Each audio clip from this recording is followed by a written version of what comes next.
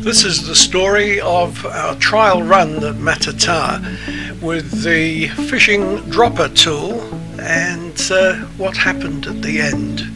Rather a sad ending, unfortunately. It was done, of course, with the Phantom DJI Phantom 3 Standard, which came to us from Ferntech, complete with the fish dropper, and it was held at Matata's camping ground, which is a beautiful camping ground down by the sea, and we went there in our trusty Compass Rambler caravan that you can see now. It was a lovely weekend, and we did have lots of nice weather, thank goodness although we did have one drop of rain.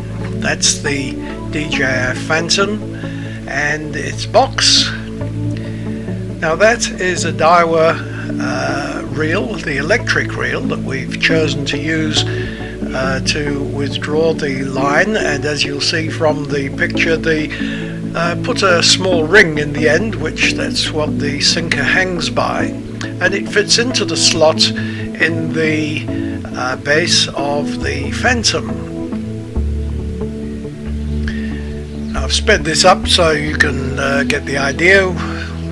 Obviously you know how, or possibly how the uh, Phantom propellers go on and also the setting of the compass, make sure everything was right and just fitting the hook into the little slide at the bottom of the Phantom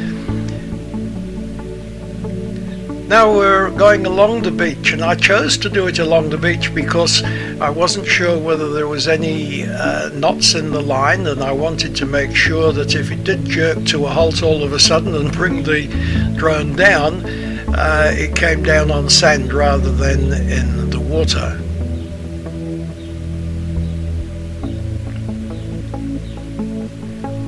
Now we're coming up towards the dropping point at this stage, just over 200 meters away from where I was standing. And we'll be panning the camera down in a moment so you can see the splash into the sand. You will see the sinker wobbling a little bit at the bottom of the picture you'll see the, very, very briefly, you'll see the sinker drop and hit the sand. And there it went. As I said, it was a beautiful day. There was about a meter swell. My partner taking the dog for a walk, who was with us all the way throughout. Her name's Frankie, not my partner, but the dog. It is a girl dog.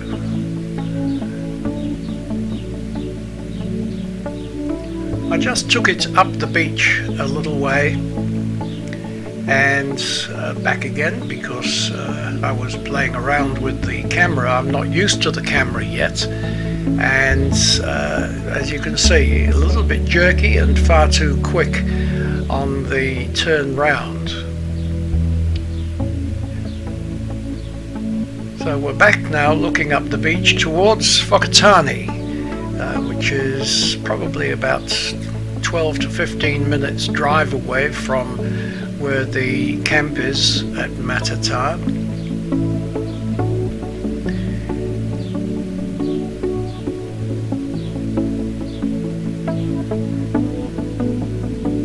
And then I decided to go up a little Right in the very distance on the horizon you can see the East Cape area of New Zealand. There are a little bit blue hills there. It is a rather pretty sight. That's my little caravan down there, uh, sort of the other side of the bus on the edge of the wetlands.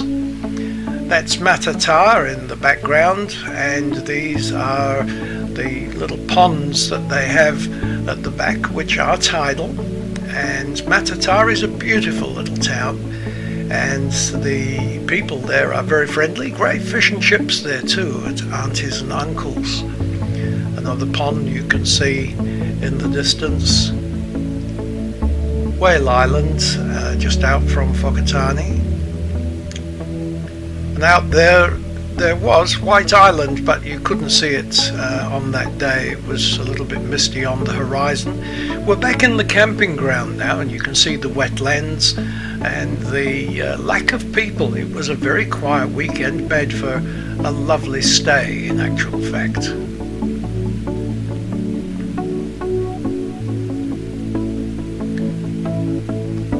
Road right down the base of those uh, cliffs there, which is called Matador, Matata Straits.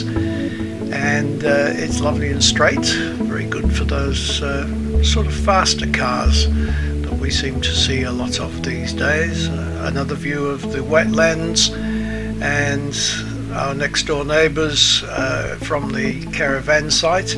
They came down to see what I was doing with the drone. This was a crash and the unfortunately the wind caught the uh, wire or the um, braid and blew it into the propellers.